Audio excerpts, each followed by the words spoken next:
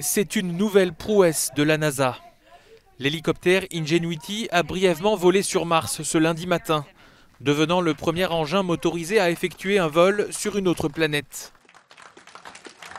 Une courte vidéo du vol prise par le rover Perseverance a été diffusée dans la foulée de l'annonce.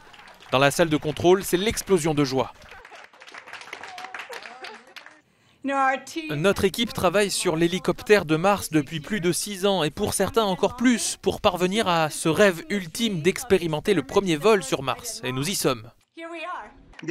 L'idée est que ce petit engin va explorer Mars d'une manière différente. C'est une sorte de reconnaissance du territoire, avant que les gros robots ne viennent derrière lui et ne trouvent des endroits spéciaux difficiles à trouver depuis l'orbite.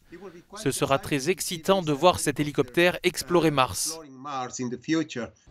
Initialement prévu le 11 avril, le vol avait été retardé en raison d'un problème technique apparu lors d'un test.